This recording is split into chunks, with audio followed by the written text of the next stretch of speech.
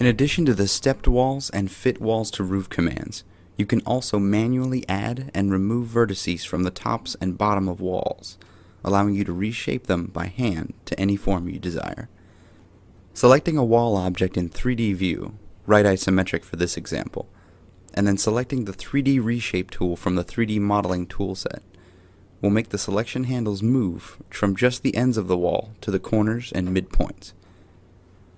You can drag these points up and down freehand with the first mode, Reshape 3D Walls, of the 3D Reshape tool. Note that this movement will always be locked to the Z-axis when using this mode, so you don't need to concern yourself with locking your movements with the Shift key to keep it from moving in X or Y.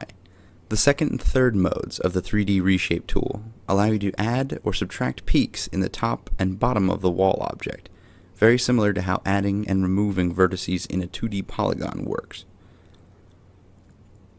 With the second mode, Add 3D Wall Peak selected, what we need to do to add another vertex is to split one that already exists. In this example, we'll hover over the selection handle. You'll see the selection icon change to an arrow splitting two selection handles apart.